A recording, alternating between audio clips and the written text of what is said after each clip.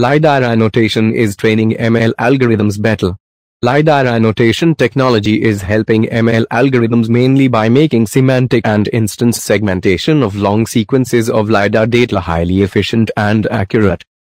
Now it is possible to segment those long sequences in minimal time and with exceptional results. LiDAR annotation integrated with machine learning is helping many ways to bring out efficient and accurate results. LiDAR has undergone major changes over the past years, and the most important thing is it has become increasingly very significant due to its fundamental role in autonomous vehicles to safely navigate our roads. Learning Spiral, a data labeling company offers qualitative data annotation and data labeling services including LiDAR annotation.